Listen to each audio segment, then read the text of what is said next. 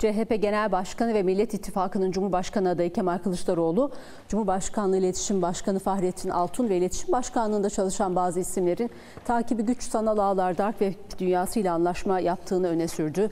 Ee, Böyle bir göndermede bulundu. Özellikle seçimin son 10 gününe ilişkin seçim sürecinin.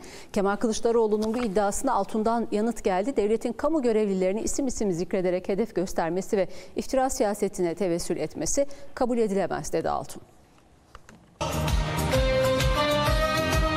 CHP lideri ve Millet İttifakı'nın Cumhurbaşkanı adayı Kemal Kılıçdaroğlu 14 Mayıs seçimlerini işaret etti.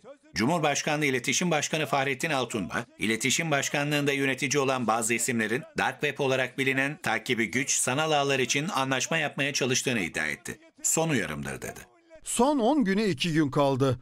Ben son uyarımı yapayım. Fahrettin Altun, Serhat ve ekip arkadaşları Çağatay ile Evren, anlaşmaya çalıştığınız dark web dünyası sizi yabancı istihbaratın eline düşürür. Cambridge analitikacılık oynamak sizin kapasitenizi aşar çocuklar. Son uyarımdır. Cumhurbaşkanlığı İletişim Başkanı Fahrettin Altun da Kılıçdaroğlu'nun iddiasına sosyal medya hesabından yanıt verdi.